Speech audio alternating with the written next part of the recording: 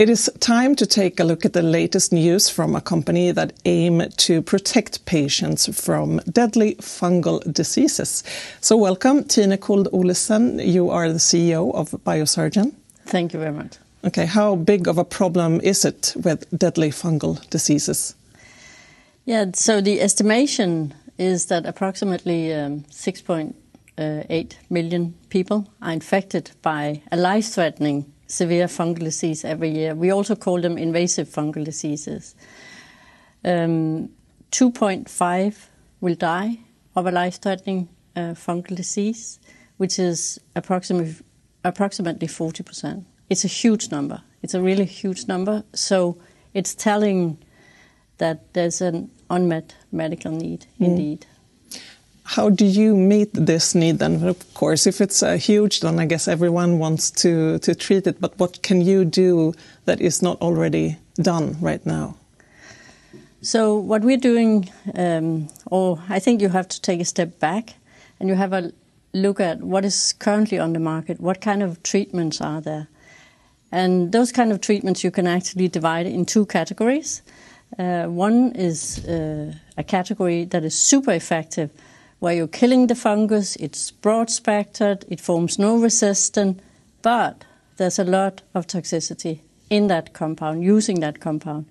So it's uh, you make um, irreversible damage on the kidney or the liver. Sometimes there's something with the heart. So every physician is kind of limiting the use of that compound, and um, so uh, limiting means they go on a low dose for a short period of time. The other category of antifungals, as they're called, is uh, compounds that inhibits growth. It doesn't kill, and it's not broad spectrum because that when you inhibit growth, then there's also a risk that the fungal will form resistance. And when you form resistance, the treatments stop being effective. Uh, so you are actually in a dilemma if you should treat with something that is very toxic or something where you, you have a risk, high risk of resistance formation. What our compound is doing, BSG uh, 005, and we have shown that in uh, healthy volunteers and in animal studies, and now we are testing in patients, what it shows is that, or it was designed to kill the fungus. It will not form resistance because it's killing, and it's broad spectrum. It covers approximately 90% of fungal strains. Um, and then on top of that, uh, it doesn't have the severe side effects. It was designed to be more specific to the fungus than uh, to anything else. I understand. And speaking of trying it in patients, in, in humans, uh, the big news is that you have now enrolled the first patient group in a proof of concept clinical trial, which means uh, that everyone is now receiving treatment or, or have already finished it. Um, describe to me why is this such an important thing for you? Uh, it's always important for a company to go into real patients. The other part of this uh, trial, why it's so interesting, is actually because we treat the patients that have shown they are resistant to other therapies. We also treat those who have had severe uh, side effects of the very effective drug, but they can't tolerate it, so they have to stop treatment. So we are actually raising the bar and saying if we can manage to treat patients that have shown resistance, or if we can manage to treat patients that are intolerant to the most effective drug, then we are in a super good position to move forward in our development mm-hmm. program. Then, of course, we want to know what will you evaluate? Is it if it works? If it if it's safe? What else? Yeah. So, uh, any trial, uh, when you start in patient, it's always safety first. So, safety and tolerability, and then uh, on top of that, uh, we're going to look at efficacy. Hmm. Let's talk about one of the patients who actually recovered fully already, and he is now in a follow-up period. Can you tell me a little bit about him? Yeah, so the patient um, comes in and he has moderate ren- renal impairment and uncontrolled diabetes. That means he cannot be treated uh, with a very effective drug because he has this precondition. Uh, at the same time, he has a fungal infection called mucormycosis. Mucormycosis is also called black fungus, and it basically eats you up from inside.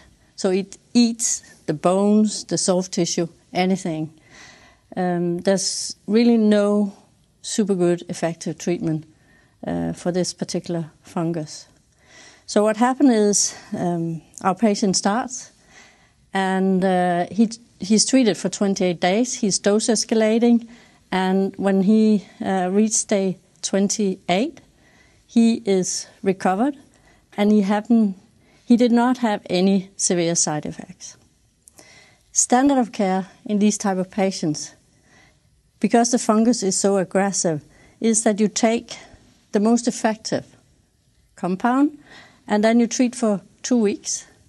Then uh, you are in for surgery after that, and you try to remove dead and infected tissue, and then uh, you just have to wait and see.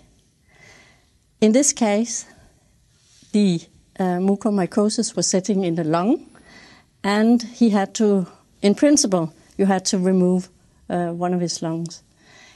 The thing is, because he, over the course of 28 days, recovered, he didn't have to had to go through surgery and had have his lung removed, which is an amazing uh, story. Basically, what you say is you saved his lung in yeah. 28 days. Uh, Within 28 days of treatment, yes. Yeah. Um, so then, of course, you want to know uh, do you already know when we can expect results from the trial? Yeah, so we, uh, in total, we're including 15 patients. We have the first group uh, is in and being treated, and we have uh, 10 more to go. And we expect to have results of those by end uh, January 2025. Mm. Will this uh, trial affect your budget at all? So uh, the financing we have today is covering uh, the full trial. Uh, we have a one exercise coming up in November, which will be allocated to other activities, and that will take us into 2026. Mm. Let's say that the results are positive, like you hope and believe. What is the next step for you? So uh, the the biggest activity we have is um, we will have to find, or we should find, uh, an, an, additional partner. We have one partner. Uh, one partner is Alkem Laboratories in uh, India, and they're helping us with this trial. Uh, and at the same time, they have committed to doing phase two and three trials in India, paying for the patients in India. And that's a huge help for us. Um, and when they have executed this phase two and three, then their financing will have to be converted into shares in Biosergen, and that's at a very uh, favorable conversion for Biosergen. At the same time, they will also get the rights to uh, the Indian market, and then we will have a royalty. So we're looking for additional partners.